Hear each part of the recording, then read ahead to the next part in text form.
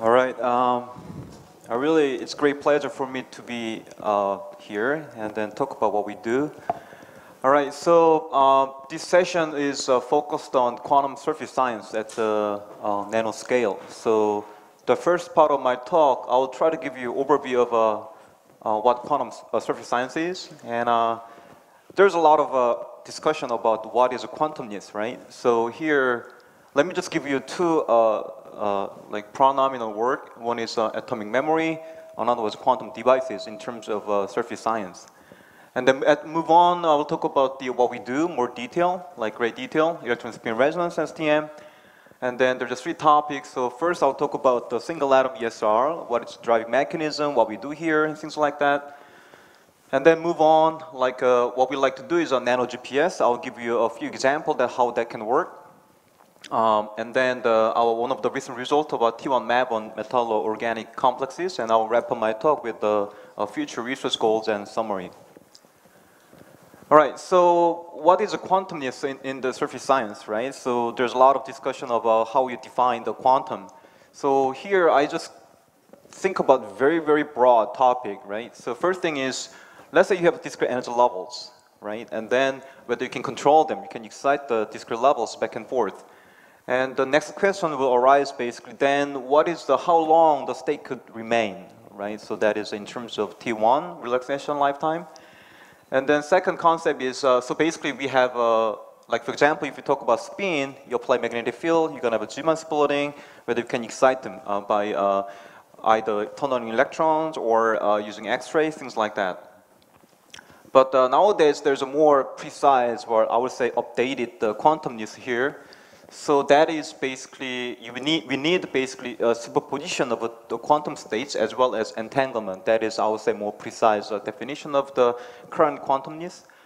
And the next question is then how long we can uh, remain the, maintain the, the phase coherence, which is uh, down to a time scale of T2.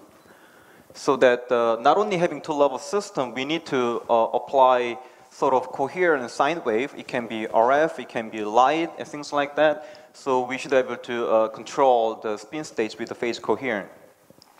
And on the top of this, you know, more a strict way of defining quantum is you need to have quantum entanglement. For example, let's say somehow in control manner, you basically uh, control spin up, up to spin up, up, plus, down, down, so that if you measure first qubit, second qubit has to be highly correlated, most highly correlated, right? So there's definition of quantum entanglement.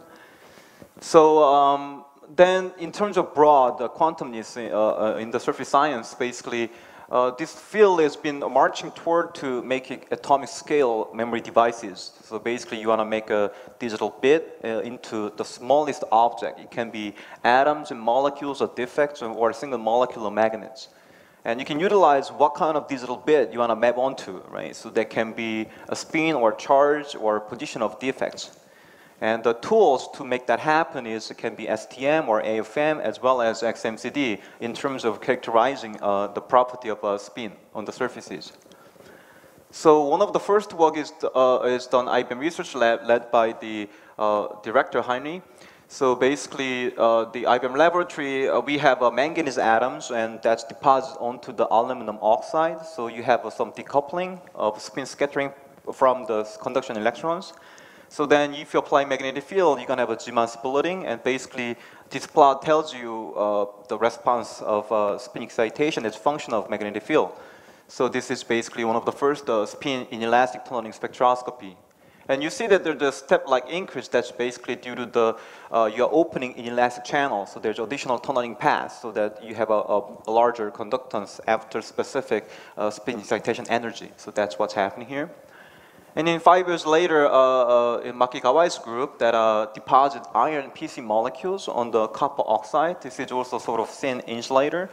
And then also observe very interesting spin features uh, uh, using the spin ITS. So then let's say you have a, a spin, uh, uh, you, can, you can measure spin excitation with atomic resolution of the single molecules atoms. Next question you're gonna ask then how long the excited state can stay, right? So that is uh, T1. And also the, one of the pioneer in this field is uh, IBM, the Sebastian.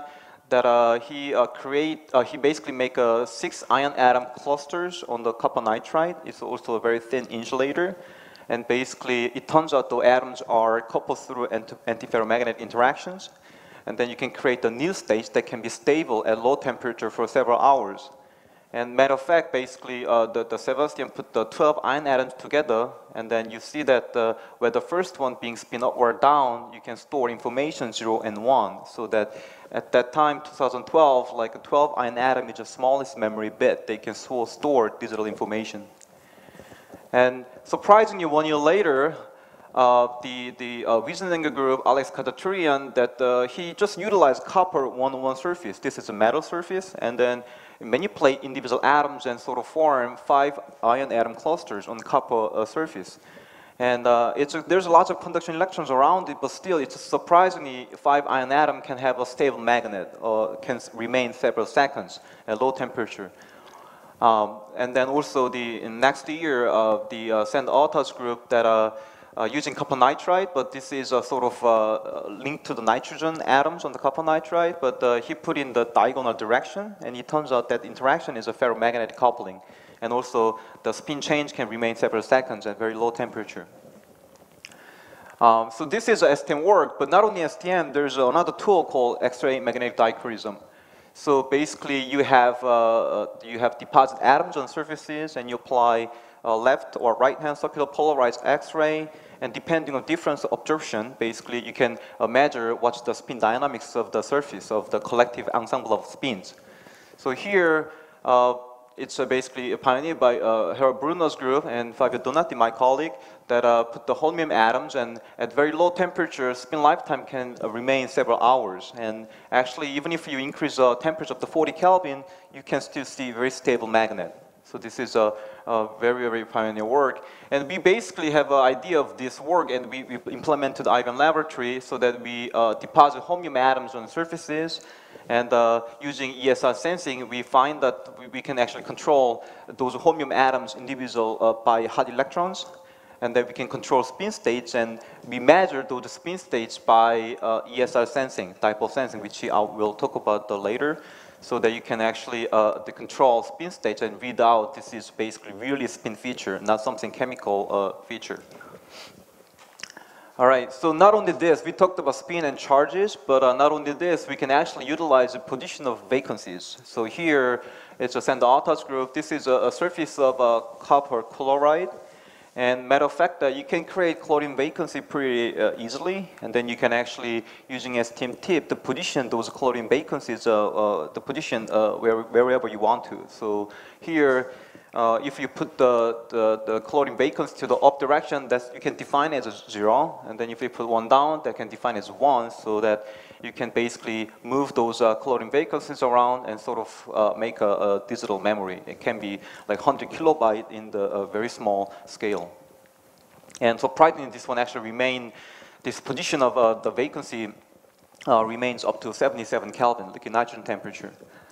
So not only atoms, also the molecules, uh, and then IBM Zurich lab, uh, led by Leo Gross, that uh, basically uh, there's uh, two molecules are sitting on like tens of monolayer thick uh, salt insulator, and then you can, using AFM, you can actually inject the electrons also, so that you can charge the molecules on and off, so that you can store information that way as well. And you can prove by the Kelvin probe force microscope.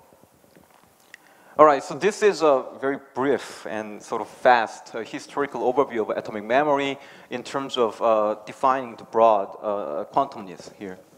And let's move on to the uh, actual precise uh, concept of quantumness. And here, uh, there's a lot of work is actually done by UNSW, in particular the Simmons group that has been working on the phosphorus atoms on silicon surfaces. So basically the idea is that you have, you pattern the, the like quantum dot structure in atomic scale, and then basically you prepare clean surface, you put the hydrogen, so then hydrogen will form the bond with the silicon substrate, uh, like dangling bond, for example, and then you basically, uh, using STM tip, apply high voltage, you knock over those hydrogen atoms, so you can pattern the electrodes or uh, uh the, the, quantum dot in atomic scale. And afterwards, you basically uh, uh, evaporate the phosphine, and then you anneal the sample, there's chemical interaction involved that at the end, basically phosphorus atoms will be stuck to the surface. And then afterwards, you can uh, evaporate silicon uh, atoms and you can anneal them and sort of uh, cap encapsulate the dopants in the silicon. So then basically you can uh, sort of create the quantum dot structure using the fabrication uh, of uh, STM tip. So there's just so many brilliant work, really uh, great work from the group and uh, gl uh, globally, but let me just wrap up by just one quick slide. This is just published, I think, months ago. And then this is a silicon surface, and basically you uh, pattern it and sort of uh, uh, silicon phosphorus dopants are sitting all those places here. You can pattern with nanometer scale. In particular, if you zoom in here, there's two uh, sort of quantum phosphorus atoms, donors basically, implanted with the separate by only uh, 13 nanometer apart. So that you can control the position of do uh, donors with atomic precision, and also you can utilize those gates, uh, the electrodes, so to control their exchange coupling between two electrons captured by these uh, phosphorus atoms. So, um, and they were do Rabi oscillation and stuff like that. And on the, on, on the top of it, uh, they were able to do uh, square root of swap gate. Swap gate is a flipping spin state, um, but the square root of it is sort of two qubit gates. Uh, and then, and swap gate is equal to CNOT gates, not directly. You need to have some operation, but you can uh, make a CNOT gates, which I will not talk about detail here. But anyhow, so that the uh, the quantum fidelity, uh, they obtain about 90% for the two uh, uh, qubit wise. Of course, the other architecture, uh, like for example, let's say ion trap is having 99.99% fidelity of two qubits. Um, and then superquantum qubit is 99.95% uh, fidelity and things like that. So the number wise is, uh, is, is all right, but it's, it's not that good. but in terms of you can control the position in atomic precision, that's sort of open very nice uh, the, the path that people can work on. All right, so I was like debating myself whether I'm gonna put this, this, this topic here, but uh, there have been known that uh, you may utilize the Majorana fermions for the quantum computing, which there's a lot of debates and uh, theoretically it's very uh, uh, well mature, but I think experiment-wise there's a lot of way to go. But uh, there's a, a, a Ali Yazdani's group that is working on the ion chains on, on the, on the uh, the lead surface. So it's superconducting wire that have an edge state that is uh, uh, driven by uh, Majorana fermions, and that is also a lot of effort is going on to searching for these uh, Majorana fermions using the STM. All right, so this is a sort of very, very brief overview of the, the quantum surface science.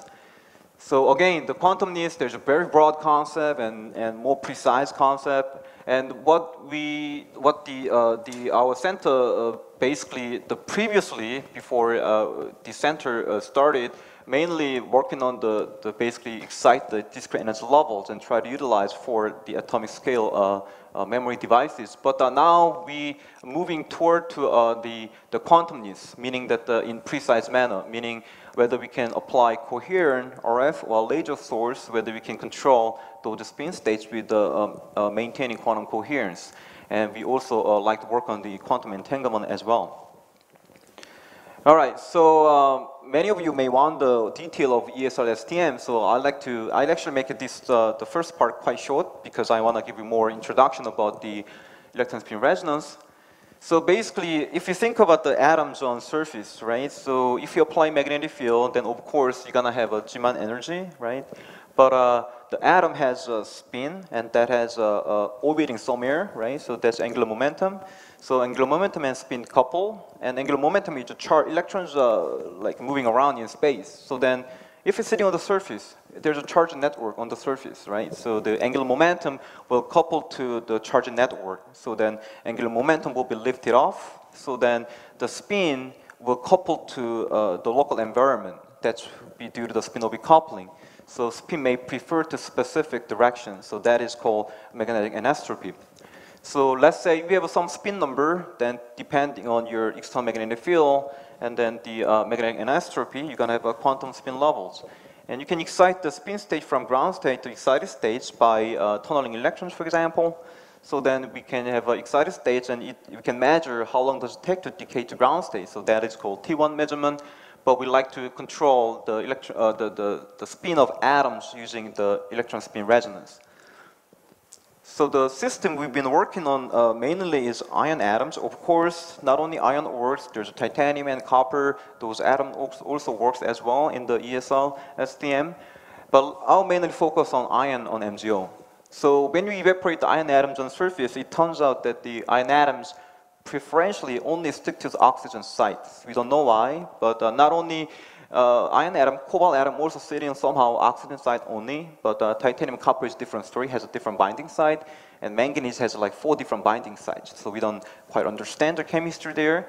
But let's take the iron atom sitting on oxygen side, right? So then you can see as a, if you try to put the spin in the in, in surface, and you see that there's a four uh, magnesium atoms nearby. So it's very highly symmetric. So if we put spin one direction, there are a lot of degenerate directions of spins. So probably spin preferred to be out of plane.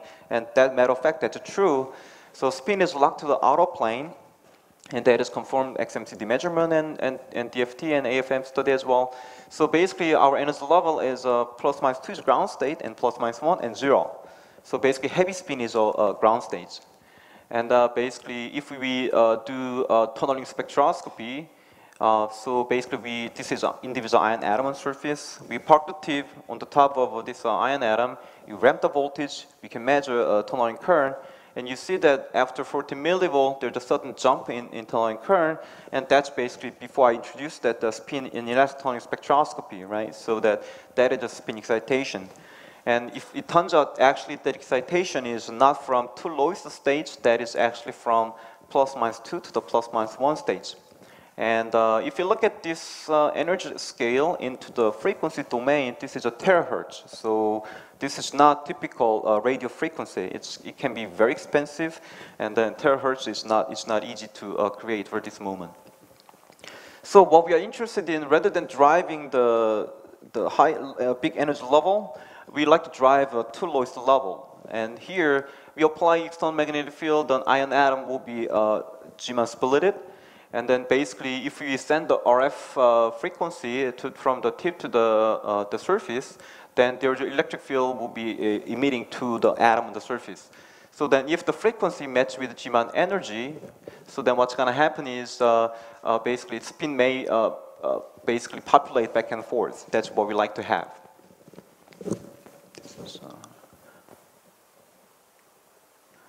All right, so our system temperature is 1 Kelvin. So then, if you apply B field, we have a Zeeman energy. So then, uh, electron will populate according to Boltzmann distribution, basically delta E over KBT. That's the concept. So then, our 1 Kelvin basically give you a spin population of being uh, lowest state is about 70%, and here is about 30%. This is not uh, working now. All right, so we like to uh, change the spin population back and forth. So when frequency match with this uh, Zeeman energy, then spin will flip.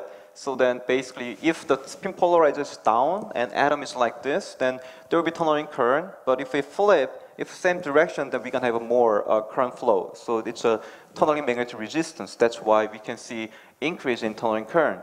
But uh, if uh, spin polarization of tip is opposite, then basically we will see the other way around, meaning that the, we'll see if the signal is a down, not a, not a peak. So we utilize TMR to, to uh, using uh, spin polarized tip to detect the spin states. And here, the, one of the benefit we have is we actually, in, in QNS, we, uh, we uh, uh, recently installed the Unisoku STM, and it actually has a, a vector magnet uh, so that we can actually uh, uh study a variety of the vector fields so that we can understand the ESR mechanism better. We might be able to optimize ESR signal as well. And this is a signal we got uh, after installation of only three months. All right, so um, this is uh, basically the, the, the, schematics of how ESR STM works. But uh, let me go into a little bit of driving uh, uh, the idea here.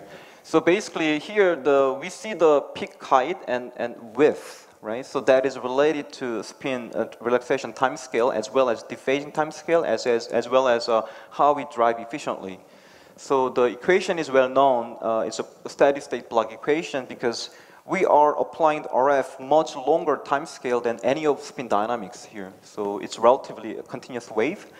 So then basically if we, uh, and the Rabi rate, which is how fast we drive system, is basically overlap between 0 and 1 by interaction Hamiltonian, which can be here is a radio frequency, radio uh, uh, uh, Hamiltonian, which we think is a dipolar coupling or exchange coupling, I'll talk about later. But anyhow, so when we have a Rabi rate very small, then you see that this equation look like Lorentzian right away. And you see that in frequency domain, the line width is limited by T2. So that's how we can measure uh, T2.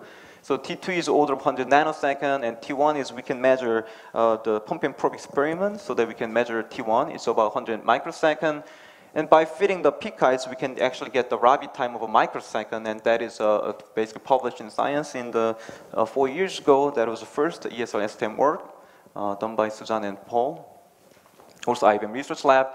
But uh, what we like to have, if we would like to have a full quantum, is what we want to have is uh, the Rabi time is much shorter than T1, T2, so that we can rotate spin back and forth with the phase coherent, right? Uh, without decay. But matter of fact, uh, we are not that case. We are somewhat between. So Rabi time is pretty good for T1, but uh, actually it's longer than T2. And time scale is order of 10 times longer. The Rabi time is 10 times longer than T2 time. So what the meaning is, I'm in North Pole, I like to go to South Pole, and somebody is telling me that you should go that way, right? So one tenth of time, there's somebody tell me to go that way. So I went step 10 steps, one step, so out of 10. And then I look around and that, guy's gone. And nobody tell me where to go. So I walk, uh, somebody say go backwards, I'll go backwards. Somebody say go forward, I'll go forward. So I'll be randomly walking back and forth every uh, one tenth of steps. So I'll be confused. So if you do temporal average of given spin, then you will do basically average out and you will get the, the basically saturate to the 50-50. But as I said, that we are one Kelvin temperature, so that the, we have a 70% population to 30%, and we saturate to 50-50. Anyhow, we see difference in spin population, and we can detect that. That's how we are seeing this continuous wave ESR signal. So this is the data uh, taken uh, using the Unisoku machine at QNS. So basically, this is ion atom. We uh, park the tip on the atom, and then we uh, sweep the frequency at given BG field. We see signal here. To make sure this is real, we ramp up the field linearly, and you see the, the frequency shift according to this. So this is a true Zeeman energy of single atom. So this is uh, uh, one of the first uh, ESR STM uh, working out of IBM lab using the commercial uh, Unisoku machine. Of course, we uh, reconfigure the cabling and things like that, uh, but uh, it's, uh, it's possible.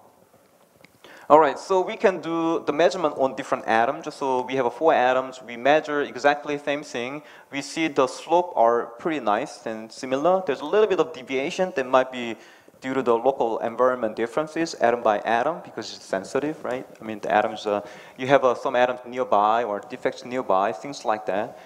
Um, so what we do is here, we change the external BG field, then you, you measure the frequency of ESR, then the slope would be magnetic moment of ion atoms. So by fitting this, we can get the magnetic moment of ion atom. But uh, when we extract those feeding lines all the way to 0, comma 0, it's not crossing there. It's actually there's offset in vertical direction.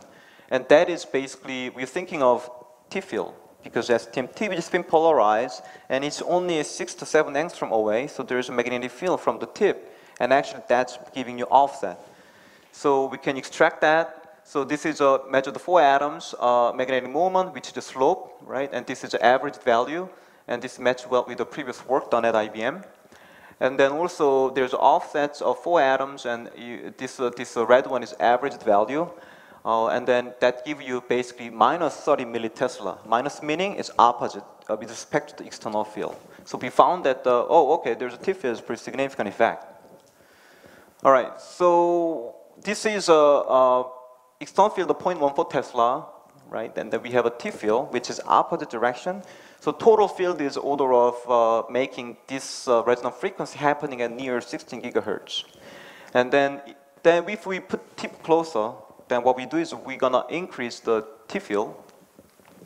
So then to see the, uh, the ESR signal at the similar location, we have to increase BG field as well. So we increase BG field to do so, so we can maintain the signal at total field near the 16 gigahertz. And also we can move T far away, and then we can reduce the T field. Also we have to reduce BG field to see the similar, the uh, resonance frequency signal. right? So then, as I, as I show you just now, basically you can uh, utilize the T field, and T field is quite strong effects. Then why not? Why don't we drive the ESR without any external field? So here, what we do is uh, we slowly ramp down all those external magnetic fields. So without any BXPG field, we were able to drive ESR signal. So this is ESR signal. There's no external field. Just using T field, we drive uh, the ESR. To make sure this is real, we can change the current linearly. Then, you know, current is exponential dis distance, and B field is exponential distance. So B field and, and the current will be linear. So you see that when you change the linear current, sort of, you see the linear shift in the ESR frequency. And this work is uh, just submitted uh, about a month ago. All right, so I talked about the ESL, ESL that can be worked without any magnetic field, but uh, I haven't talked about the in-plane field, right? As I mentioned, the Unisoku has advantage that we can apply in-plane field. So in, let's say if we move about one angstrom away from previous condition, tunneling condition, so then TB is quite far away. Well, far away meaning only one angstrom away, but uh, it's exponential relationship, so uh, we say far away, but it's not really far away physically. But anyhow, so um, when we uh, measure in-plane field, we just uh, basically measure ESR signal as a function of B parallel field. And uh, we find quite interesting that uh, at the beginning, let's say the ESR peak height, the signal increase, the, the peak height intensity goes up. Um, so that is uh, basically, we can think as, uh, so we are increasing the in-plane field more and more, and somehow uh, we see ESRP goes up, and then maybe spin polarization got better. Well, if a single paramagnetic spin doesn't make any sense because you follow spin and ion spin is vertical, so you don't see any signal. But probably we pick up many ion atoms and it's atomic chain, so some components in, in, in plane, but that, that map onto the vertical direction or something like that. That's what we are guessing. And also, if you apply strong in-plane field, we can mix the spin states of ion atoms, so Rabi rate goes up, so that that might be why we are driving better. But uh, after 1.5 Tesla, it actually goes down. So that is basically, if we apply in-plane field stronger, stronger, then what's going to happen is uh, you have overlap between two quantum states more and more. So actually T1 goes down slowly. And maybe that is dominating factor over here. That's what we're thinking. Uh, but uh, interestingly, as you see uh, in the low field regime, we cannot see ESR signal. Right? So that was very puzzling. Um, of course, there can be the other way around of this. Spin polarization is bad, maybe, and then spin mixing is bad, something like that. But uh, that sort of makes me think that makes us think that uh, the tip distance is very crucial. So you want to tip closer somehow, then make ESR working. If tip far away, then in-plane field is needed, something like that. So we think that probably exchange coupling of tip and atom is maybe a major role for this make ESR STM working. So this is a single atom ESR. So I hope I hope you uh, uh, give you good understanding of uh, what's the uh, single atom ESR. And let's move on. What we're gonna do with this tool. So uh, first thing is the uh, nano GPS. So there is a three atoms here. Um, STM again, advantage uh, at manipulation, right? So you can put atoms together and see their interactions. And it turns out that when I measure this atom, I see there's a four signal here. And that is actually quite simple to understand because if there's an atom nearby in this cartoon here, let's say spin is pointing up direction, that give you magnetic field to the downward, to the atom of interest we are measuring. And if the spin is flipping downwards, and it will give you a magnetic field to the upward. So if there's no atom nearby, we're not gonna see uh, any, uh, we're gonna see only single splitting, a single peak, but the fact that we have a spin nearby, and if, it, if this is a fluctuating much faster time scale compared to our uh, sweeping frequency time scale, then we can sample this two Zeeman energy, at, uh, Zeeman energy. That's why we see a splitting due to the nearby atom. And here we have two atoms, so two to the two, so we can have a four signal. That's why we see here uh, four signals. And then you see the atoms are close, and this is further away. So close one maybe give a stronger magnetic field, so splitting will be large. So that may be corresponding to uh, this splitting here. And this atom, uh, this atom is iron and cobalt is far away, so that might be mapping onto this uh, weaker splitting here. And then we can measure, again, STM is atomic uh, resol uh, resolution, so we can move the tip over iron B and repeat the same experiment. We see also there's a four peaks pop up, as same as before. Uh, and as I mentioned, atom by atom resonance frequency is slightly different due to the local environment. So what we do is we line them up, the large, the biggest peak, and you see that one of the splitting is exactly the same. So that is uh, not surprising. It's, a, it's because whichever atom we measure, ion or and B, their relative interaction should be identical, right? So that this tells you, oh, finally confirmed that this splitting is due to the ion A and B interaction. And then iron B and cobalt is rather really close, so splitting will be large, the corresponding to this splitting as well as uh, this splitting right here. Okay, so we can identify interaction of individual atoms here. And we can, so we show that, there's a splitting, but we'd like to know what kind of uh, physics there, what kind of interactions play a role here. So what we do is, uh, as a function of distance, we measure how much the ESR splitting uh, is happening. And it turns out when atoms are more than one nanometer apart, we found that the, the curve fits really well to one of our uh, R to the cube relationship. So this meaning one of our cube, that is a basic the electromagnetism, right, 101 book, that, that shows that uh, that's dipole coupling, magnetic dipole coupling. So that since we have a very precise interaction can be measured, meaning that we can utilize the interaction for sensing. So that's the idea. I think we may change battery of this one or something. But anyhow, so then as you see here, when atoms are close to one nanometer, actually the measured signal is more than dipole coupling, and it's probably, atoms are close to one nanometer, so the wave functions start overlapping each other, so maybe there's exchange coupling kicks in, things like that. So that's probably why we have a, but happen to be, yes, uh, coupling, uh, the, the exchange coupling makes a higher energy than dipole energy somehow. But uh, there's a lot of great work done by Kai Yang at IBM uh, Research Center. So you can utilize this one to sense the magnetic moment of atoms. And uh, here we have uh, not only iron-iron, we can study iron-cobalt, iron-tall iron. Tall iron is really interesting because whenever I pick up atoms and put down, sometimes atoms appear to be taller. So I thought maybe that's just different binding site, but that wasn't. You see the, it, it matches exactly the center of the grid line. This grid line represents the oxygen site. So this is something to with probably charge state of atom. So we measure same thing, one of R to the cube relationship. But as I mentioned, the dipole energy has not only uh, the components uh, interacting terms, you have uh, the distance term as well, like here. But the ion spin locked to the outer plane so that these components all become zero. So this component all goes away. So left over is a magnetic moment in Z components only. So then you see that there's offset. So in log-log plot, this offset basically tells you the magnetic moment of species you are studying. So you can extract information of magnetic moment. Here we can get iron magnetic moment about this and cobalt and tall iron. So uh, three things. First thing is you see the arrow bar. This is really precise. It's hard to believe this is condensed matter experiment without sampling, just single atom. And second thing is uh, iron cobalt, if you think about atomic physics, uh, the total spin is 6. The magnetic moment is 6. So it's very close together. And also tall iron, it's the same iron atom, uh, but the magnetic moment is one Bohr magnet reduced due to the different charge states. So this is a pretty interesting platform to understand how charge is connected with the spins in theoretical uh, manner. So uh, we, we, we can measure magnetic moment of single atoms, including unknown uh, species. So what we can do is we can build an atomic structure, 2D array, uh, because 1D array can be done so many other architectures like ion traps and, and other, other STM work. So we build a two-dimensional structure. So this is a pick up one atom, put one by one, and build a five-atom dice structure here. And then if I park the tip at the center, I see a signal like this. And uh, since the we have a four atom nearby, two to the four, you should have a total of 16 picks, but we only see uh, three. That's because the, the center atom to corner atom distance are the same, so degeneracy kicks in. So that's why. So that basically, first one is flipping only atom interest we are measuring, then other picks are basically, except that one, other things are flipping one by one. But I didn't write down as a linear sum because that's not right. Here we are measuring sum of mixture, okay?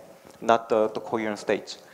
So and things like that. So this is a ratio, but someone cannot believe, well, you don't see other two picks, so we can increase system temperature, then you can push the the binomial distribution in higher in frequency. So yes, at 1.2 Kelvin, you see all the peaks recovered. And here, the red one is the not the fit. This is a theoretical simulation. It matched beautifully well. This is really amazing.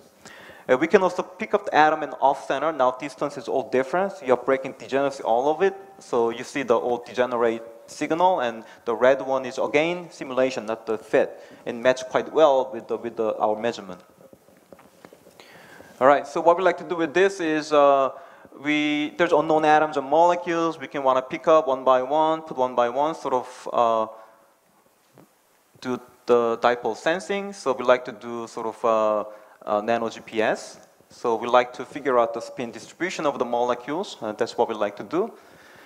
Um, so, and it works actually. So go back to the five valence structure. I say I don't know this atom and try to find it. Okay. So I measure these corner atoms and you see those ESR signal and you see, you take a look, well, what is this? This is all looks similar, right? It's hard to tell what's going on. But uh, as I said, we can simulate the curve as long as we know magnetic moment, we know their interactions. So that uh, we can simulate the curve, this is the delta function simulated curve uh, of including all interaction except this guy, okay? So then if I deconvolve our measurement, our measured ESR signal from out of uh, this calculated spectrum, then at the end, the signal we will get is only the, the coupling between the sensor atoms than the atom of interest we like to measure. And yes, after this deconvolution by uh, MATLAB, you see the only splitting pops up due to the interaction of these two. So at the end, we can basically uh, uh, map out. So we have three equations and three unknowns with location magnetic moment, so we can get the exact location. And only the we got the atom right there, only one angstrom off, and the magnetic moment is within one sigma. So we can do that. So as I mentioned, the mapping spin, uh, the distribution of the molecule is a really interesting topic. So before doing it, we were testing TCNE molecule. So TCNE is a well-known organic magnet, has a spin half system. So if and it's a very uh, uh, has a very high electron affinity. So if you attach the metal atom, there might be charge transfer and spin transfer, things like that. So we like to study that. Actually, there's a tall ion atom here, but as soon as we put the TCNE nearby, atom looks disappeared. So that was really puzzling. And so what we do is uh, we basically utilize a pump and probe experiment to find the location of the ion atom. And actually, yes, so the ion atom, where, where we, before we attach this any molecule, we see the, the spin uh, relaxation. Uh, so it's a T1 is about tens of microsecond. So we found that so that then to locate the where ion spin is, we park the delay time as 10 microsecond. You scan it, then you can see the lock-in signal. So that's how we can uh, basically finalize where ion atom is located. So we can utilize this technique to identify spins uh, on the pump and probe. All right, so future goal and summary.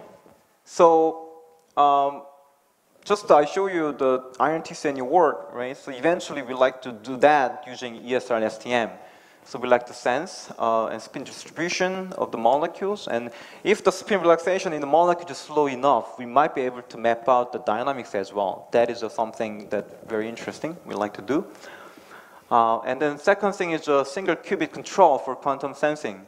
So idea is that uh, so far our measurement is all continuous wave, right? So uh, meaning that uh, it's basically T1 limited. I would say that's an average DC measurement.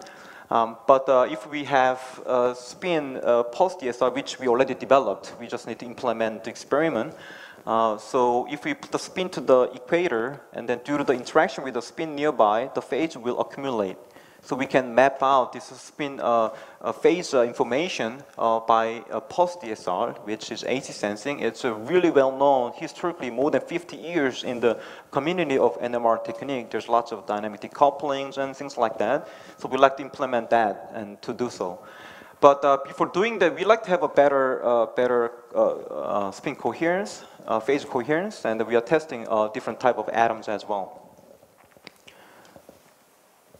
So summary, ESR, you can work without any magnetic field nearby, uh, external magnetic field. And we were showing the T1 map, and we are pushing direction of nano GPS as well as a quantum sensor by controlling uh, single qubit of, of the spins on surfaces. And let me just uh, show you, uh, actually, there are uh, other groups are catching up now, and there's uh, at least more than four groups can do ESR STM this moment. So IBM started 2015 this work, and then the, uh, 2019 there's a paper published, uh, Harald Brune's group, uh, EPFL uh, uh, Switzerland, and basically using very similar technique as us, we apply the microwave, the, the, the microwave voltage through the from tip to the sample. Uh, and then the, we did it. Uh, we just uh, submit the paper about this. And then Sander Otte group and Delft is unpublished, but using very similar way as, as, uh, as what we do. Um, and then actually, surprisingly, it just published in uh, the, the August that uh, Peter Gambardella group, ETH Zurich, that they succeed the ESR STM with a radiative uh, uh, way, so that you have tip nearby, another secondary wire nearby, and you are radiating to the tip and uh, the sample junction. And actually, this case, they show that transmission is way better than us. So that's uh, really interesting. Uh, so that this ESR STM field is really growing and sort of uh, heating up. Who is next? It can be you, right? All right, so let me wrap up my talk. This work cannot be done without really great crew. Okay, so in, in, in my subgroup, that uh, really I feel really happy that work with these brilliant people with me. And particularly, we have uh, uh, four really brilliant postdocs, Phil and Sway and Appa and Tana. So if you guys see them, please ask lots of questions about more detailed information. Um, and please, uh, please uh, uh, talk with them. Uh, we have a graduate student, Mini, as well, and this is uh, uh, myself. Thank you very much.